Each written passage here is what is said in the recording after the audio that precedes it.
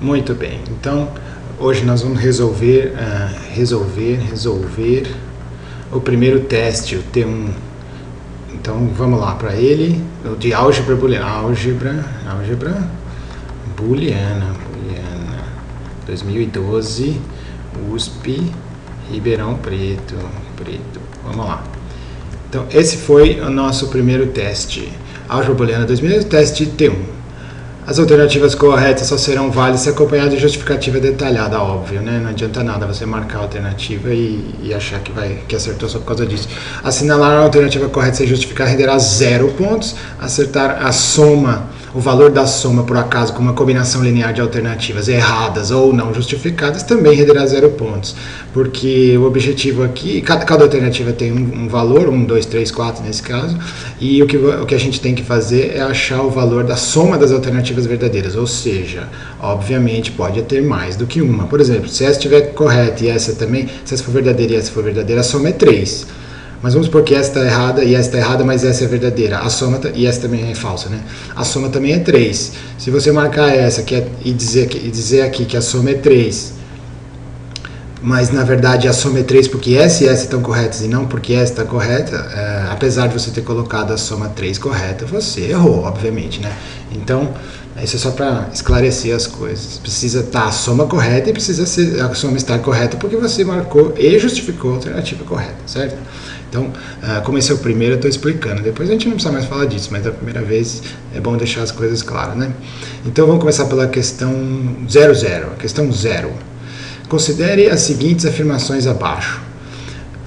Tem a 1, a 2 e a 3. São três afirmações. E depois, é, em relação a essas afirmações, serão feitas mais outras afirmações. 1, 2, é, que são essas alternativas aqui. Então, uh, as alternativas, elas, elas, elas fazem afirmações sobre as afirmações que estão aqui em cima, a 1, a 2, a 3, tá? Então vamos, vamos, vamos dar uma olhada primeiro nas afirmações. Então a ideia não é dizer se isso está verdadeiro, se isso está falso ou verdadeiro, ou se isso está falso ou verdadeiro. A gente tem que analisar as alternativas, que são afirmações uh, que podem ser verdadeiras ou falsas, sobre essas afirmações que por sua vez podem ser verdadeiras ou falsas. Então, é para a gente exercitar nossa lógica também. Não, não, é só, a questão não é só o conteúdo em si, mas tem toda a ideia do raciocínio é, de, como, de como trabalhar com esse tipo de coisa, exercitando um pouco a nossa lógica, tá bom? Então vamos lá, questão zero. É, considere as seguintes afirmações abaixo. A 1. Um, segundo o vídeo números binários que vocês assistiram na playlist passada, podemos descrever com n igual a 5 lâmpadas um total de m igual a 2 vezes 5, 10 estados, com 6 lâmpadas 12 estados, com 20 lâmpadas, 40 estados e assim por diante. Hum, acho que isso está errado, mas tudo bem. Se, gente, se você assistiu o vídeo, você sabe que isso não está cheirando bem, mas, é, mas depois a gente volta nisso. Segundo o vídeo Números Binários, que também que a gente assistiu na última playlist, na, na vídeo aula passada, podemos descrever tanto o número 11 quanto o 13 com três lâmpadas ligadas e uma desligada. Hum, não sei, vamos ver daqui a pouco. Segundo o vídeo História do Computador, podemos concluir que a computação analógica dominou o dia a dia da computação pessoal na ciência e engenharia até recentemente no século passado. Ah, isso é verdade. Quer dizer, até outro dia não tinha computação digital. Os computadores são objetos recentes na história da humanidade. Até outro dia, e outro dia é século passado, porque nós já estamos no século 21. Até outro dia do século passado. Uh, fazer computação era de forma analógica, não digital. Tinha régua de cálculo, tinha abaco, tinha uh, de máquinas das mais diversas, máquinas mecânicas das mais diversas, mas definitivamente era analógico, não era digital. Uh, e era, esse era o jeito de se fazer as coisas. Se fosse fazer desse jeito, não tinha outro jeito. Então, se quisesse fazer conta, tinha que ser é, usando esse tipo de tecnologia, que funcionou bem até, até então. Lógico que nem se compara com o que a gente tem hoje. A, a, a computação digital foi realmente uma revolução. Mas, enfim, as pessoas, os, a humanidade fez tudo que ela fez só com isso mesmo. Essa aqui eu tenho certeza que é verdade mas, mas como eu acabei de falar, a ideia não é dizer se cada uma dessas é verdade ou não, mas analisar as afirmações que são feitas sobre as afirmações. Então vamos ver. É, considerando a 1, a 2 e a 3, qual é o valor da soma das alternativas verdadeiras abaixo? E aí a gente põe aqui a soma. Bom, então vamos lá, vamos ver as alternativas. Primeira, a primeira delas diz que, bom, em A3 o equívoco, então está dizendo que a 3 está errada. Bom, você está dizendo que a 3 está errada, então eu acho que essa está errada, porque a 3 está certa. O equívoco está em afirmar que a computação pode ser analógica, quando na verdade só faz sentido se for digital. Não, isso aqui é besteira. É, não é verdade que a computação só faz sentido se for digital. Tem gente que pensa isso porque associa ah, diretamente é, computação digital com os computadores e acha que só computadores só pode, que computação só pode ser feita por computadores desses que a gente conhece ultimamente e tem que ser digital. Isso não é verdade até, é, é como diz a afirmação aqui, uh, até outro dia não tinha computação digital, então tudo tinha que ser feito de forma analógica, e dá para fazer também, só que não é a mesma coisa. Certamente você não vai mandar o homem para o espaço ou fazer, sei lá, fazer um satélite ou, ou, ou fazer uma operação digital, fazer um, uma operação de cérebro pela internet uh, remotamente com robô se você estiver utilizando tecnologia analógica. Definitivamente, é, ó, o poder de fazer computação digital levou a gente um passo adiante, com certeza. Mas isso não quer dizer que é, que é impossível, que só faz sentido fazer computação digital. Faz sentido fazer computação analógica, sim. Então. É, essa, essa alternativa está completamente, é, tá completamente equivocada, porque faz sentido sim fazer computação digital. Mesmo porque a 3 estava correta, então não tem equívoco nenhum. Então essa não é. Então beleza, tchau. Ah, em A2, não só temos afirmações verdadeiras, como também podemos extrapolar o raciocínio para afirmar que com n igual a 106 lâmpadas poderíamos descrever 2012 estados distintos e, portanto, guardar uma quantidade enorme de informação. Não, não é bem assim, não. Vamos, vamos com calma. O que está escrito em A1? Segundo o vídeo Números Binários, podemos descrever N igual a 5 lâmpadas com um total de 10 estados, com é, N igual a 6 lâmpadas com... É, 12 estados com 6 lâmpadas, 20, é, 40 estados com 20 lâmpadas, como se fosse sempre. O que essa afirmação está dizendo é que é, você pode extrapolar que se você tem N lâmpadas, você tem dois M estados possíveis. É isso que está falando. Se você tem, ah, deixa eu abaixar aqui. Se se você tem é, M, é, não, você tem N, lâmp N lâmpadas, lâmpadas geram um, 2N estados. Isso é verdade?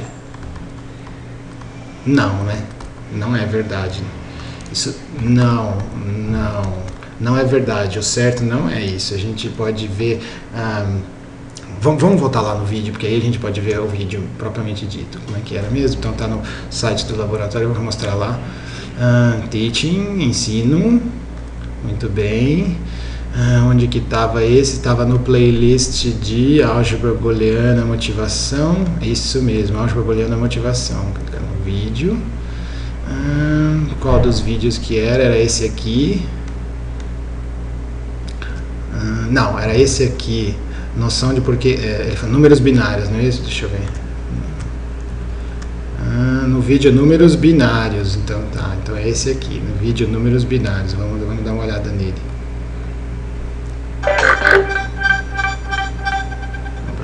Cada vez que uno escucha hablar de las computadoras o cómo funciona una computadora, ah, uno puede empezar a contar la cantidad de posibilidades que hay. É isso que é, uno isso que eu quero, quantidade de possibilidades que há, que, que ele fala Una mesmo? lamparita, dos lamparitas, Vamos tres lamparitas, etc. Y apagada esta, que ha existido, ahora hago lo siguiente. Ahora enciendo esta. Y ahora tengo... Aquí. Y podría representar ocho estados. Cuando agrego ahora y pongo una cuarta lamparita, tengo 10. Podría representar los números del 0 al 31. Tres lamparitas, 8 estados. Três lâmpadas, oito estados. Então, então, três lâmpadas, oito estados. Duas lâmpadas, quatro estados. Porque se você tem é, um, dois, três, você pode ter é, esse ligado, os outros desligados, você pode ter é, esse ligado e esse desligado, e assim sucessivamente até completar todos os possíveis. Quantos possíveis tem? Tem 2 elevado a n, e não 2 vezes n. Está errado, é 2 elevado a n. Então, é, isso é verdade mesmo. Se você tem é, quatro lâmpadas, você tem 2 elevado a 4, 2 vezes 2 vezes 2 vezes 2, 2 vezes 2, 4 vezes 4, 2 vezes 16. Um, se você tem 5 lâmpadas, das 2 elevado a 5, uh, 16 vezes 2, 32 e assim sucessivamente. Então tá errada aquela afirmação. Vamos só voltar aqui no vídeo para a gente ver mais um pouquinho. Quando agrego agora quarta lamparita, tenho 16 estados. Certo, 4, 16. E 2 estados. Ah, então tá certo. Então vamos voltar lá. Então isso aqui está completamente equivocado. Não é 2 vezes m, e sim é 2 elevado a n. Ah, então, então, isso aqui nós só temos a afirmação verdadeira? Mentira. É, a afirmação A1 é falsa, então essa alternativa não pode ser. Ótimo. Vamos para o próximo. Em A2, o equívoco está em afirmar que bastam quatro lâmpadas. Ah, peraí, vamos voltar para 2. Segundo o vídeo números binários, podemos descrever tanto o número 11 quanto o 13 com três lâmpadas ligadas e uma desligada. Tanto o 11 quanto o 13, vamos ver. Acho que foi isso tanto o 11 quanto o 13 com quantas lâmpadas? Com três lâmpadas ligadas e uma desligada.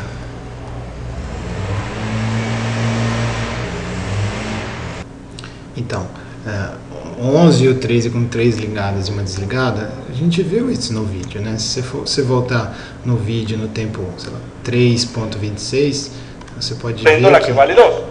Pero si quisiera escribir el número 13, tengo que prender la que vale 8, la que vale 4 y la que vale 1.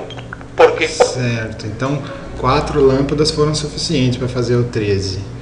Ah, afirmação qual que era mesmo? Ah, segundo o vídeo, podemos descrever tanto o número 11 quanto o 13 com três lâmpadas ligadas e uma desligada. Um, dois, três ligados e uma desligada. Verdade isso. 8 mais 4 mais 1 é 13. O 11 também, né? Ou não? Ah, tenho 4, 5, 6, 7. Ah, se, se, eu ligar todos daqui, se, vamos supor que eu ligue esse, esse e esse. Fica 1, 2 e 4. 4, 5, 6, 7. Então, com três lâmpadas, é, só com três lâmpadas, não dá para fazer o, o, número 11. No máximo, você vai 4, 5, 6, 4, 5, 6, 7. Agora, se adicionar mais um, o máximo que dá para fazer é muito mais. Então, o 11 está entre o 7 e, e, e, o que você precisaria se você colocasse mais, um, mais uma lâmpada. Então, se você tivesse mais uma lâmpada também, o que dá para fazer? Dá para fazer 1, 2, 3, 4, 5, 6, 7, 8, 9, 10, 11. Não, peraí, 8, 9, 10, 11, 12. 13, 14, 15. 15 é o máximo que dá para fazer. E, e, e, certamente você passou pelo 11 no meio disso tudo. Como é que a gente pode fazer 11? Uh, se você fizer 8, 9, 10, 11, então se essa estiver ligada, vale 8. Mais essa daqui, uh, mais 2, 8, 9, 10. Mais essa daqui, 11. Então, novamente, três lâmpadas ligadas e uma desligada. É isso mesmo. Vamos ver. Agora los invito a que ustedes Olha, comprueben que prendiendo as lamparitas adequadas, uno puede escribir qualquer número, tá? entre o 0 e o 31. Qualquer número, exatamente. Ó, então, para escrever 11, nós precisamos de três lâmpadas ligadas e uma desligada. É, ah, ele colocou de trás para frente, tá? Então, um, dois, essa é a primeira, essa é a segunda, essa é a terceira, essa é a quarta, a quinta. Não é o que estava mostrando antes, que estava da esquerda para direita, mas agora está da direita para esquerda. Então, três lâmpadas ligadas e uma desligada, três lâmpadas ligadas e uma desligada. Tudo bem que as lâmpadas são diferentes em cada vez, mas sim, dá para fazer com três lâmpadas ligadas e três desligadas, sim. Então, isso aqui está correto a A2 está correta, dá para fazer sim o número 11 e o número 13 com três lâmpadas ligadas e uma desligada. Mas acontece que essa afirmação está dizendo que a 2 está errada. E, que, e não só está errada, como está dizendo qual, qual é a, por que, que ela está errada. Só que isso aqui não faz nenhum sentido, né? não é assim que a gente representa 11. Não é com 2 mais 2 mais 2 mais 2, mas sim 2, uh, na verdade era 1 mais 2 elevado a 1 mais 2 elevado a 2, mais 2 elevado a 3 e assim sucessivamente. E não ah, somando o estado ah, ligado e desligado. Você tem que imaginar que existem mais combinações possíveis, não só essa daqui. Então isso aqui está totalmente equivocado. Essa, essa 3 está errada. Então até agora, por enquanto, a gente só tinha. Ah, a gente, essa estava errada, essa estava errada, ah, essa está errada. E agora vamos ver a alternativa. Não, peraí. Essa 1 estava errada? Acabei de esquecer o que a gente fez. Ah, computação. Ah, essa estava errada. essa também está errada, porque a afirmação não é verdadeira. Essa está errada, porque a gente acabou de. porque a afirmação, porque a afirmação A2 é verdadeira e, portanto, essa afirmação 3 aqui, essa afirmação, essa alternativa 3 que diz que a afirmação A2 está errada, é, está errada. Não, de novo. A afirmação. A, a alternativa 3 diz que a afirmação A2 está errada. Como a afirmação A2 está certa, a afirmação a alternativa 3 que diz que a A2 está errada está errada. Fez sentido? Ficou... Bom, pausa, volta e ouve de novo que você vai ver que é isso aí mesmo. E a alternativa 4 diz que, vamos lá, ambas a 1 e a 2 estão equivocadas ao mesmo tempo, uma vez que se a 1 é verdadeira, a 2 não pode ser verdadeira e vice-versa. Não, mas espera aí, a gente acabou de ver que não, a 1 é falsa, a gente viu. A 2 a gente a 2, a afirmação A2 é verdadeira, a gente acabou de ver que ela é verdadeira. Então, ela Apesar, tudo bem, se a 1 e a 2 forem. É, se a 1 for verdadeira, a 2 não pode ser verdadeira, mas a gente sabe que a 2 é verdadeira. Então a alternativa 4 está totalmente equivocada. Ou seja, a questão 0, a soma é zero, porque nenhuma dessas alternativas está certa. Se a gente tem que fazer a soma das alternativas certas, uh, dá zero. É. Nenhuma delas está certa? Ótimo. Então, questão, questão 00, resposta zero, porque a soma é zero. Ou seja, em outras palavras, é, nenhuma das alternativas é verdadeira. Espero que tenha dado para entender. Vamos partir para a próxima questão.